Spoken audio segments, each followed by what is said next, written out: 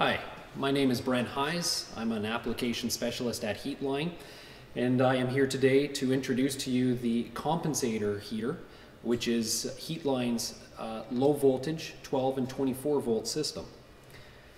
This product, uh, like all of Heatline's products, uh, feature self-regulating heater technologies.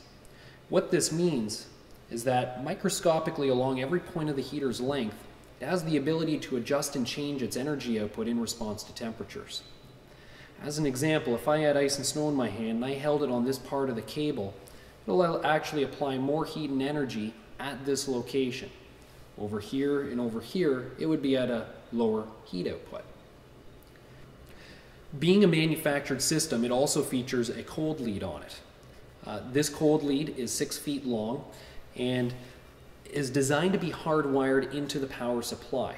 Uh, the power supply can be an AC power source or a DC power source as long as it's 12 or 24 volts based on the heating cable system that you require. These systems do need overcurrent protection and fuse sizes are based on the system length itself. The 12 volt systems are available in lengths up to 40 feet. Uh, 24 volt systems are available in lengths up to 60 feet.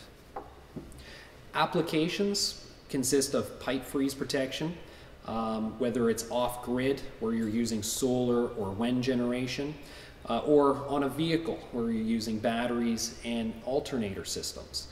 Uh, uh, the systems can freeze protect valves on the back of a truck as an example, or if you have a, a half inch uh, water line runner, running underneath the cottage and you don't have uh, 120 or 240 volt power, these systems can be used.